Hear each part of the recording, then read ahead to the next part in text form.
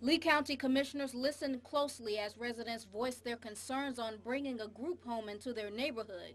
I've had the opportunity of living in a neighborhood with mentally challenged people, with caregivers, and things did not work out so well. Homeowner Peggy Bass says in that situation, there were times when patients would roam the streets unsupervised. If they come to my house and they knocked on the door and they wanted something to eat, they can be abusive to me, they can hit me, but I cannot do anything to them. I cannot touch them or I will be in violation of the law because they have more rights than we do. Bass says she would not only fear for her safety, but the safety of the clients staying in the group home. That would be a dangerous situation for them. The high traffic volume isn't the only concern for residents.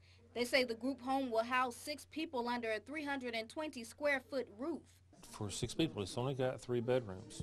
So six people would have to be two patients per bedroom, and then where are the 24-hour caregivers going to stay? During the commission meeting, board members denied the request that would allow the personal care home to be placed on Ledo Road.